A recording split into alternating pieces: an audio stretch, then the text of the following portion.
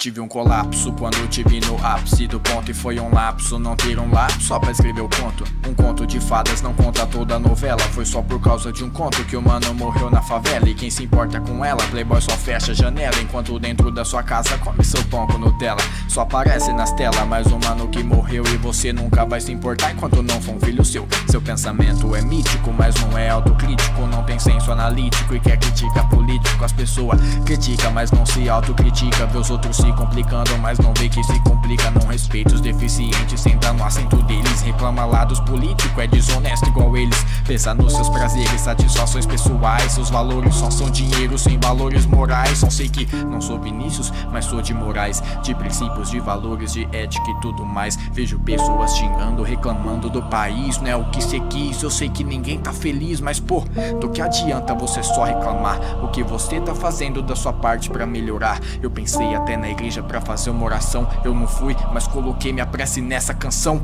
Tô até com medo de poder ir na igreja agora, porque às vezes tem mais ladrão lá dentro do que aqui fora. Século 21, os ladrão já anda camuflado. Uns de terno lá na igreja, outros de terno no Senado. Parece que até pro Brasil hoje já não tem mais jeito. O jeitinho brasileiro tá virando desrespeito. Pra pobre não tem jeito, pra rico aí tem jeito. Audiência na TV tem que mostrar bunda e os peitos. Cadê o respeito? Cadê o político eleito? Precisa de advogado pra poder fazer direito Só tenho os meus princípios, típico conservador Sou assim porque no princípio tive que conservador Me considero um vencedor, sou como vencedores Porque na vida, mano, eu tive que vencedores Avançando tranquilo, mandando umas rima pesada Tentando gravar pra um quilo um som de uma tonelada Por mim nunca dão nada, sou mais um da quebrada Meu luxo era uma TV de 14 polegada Falei de medidas, respondi a réplica com a tréplica E eu tripliquei a rima sem saída métrica Por aí alguns já me chamam de rapper mas tu me chamar de rapper, não sei se é a forma correta.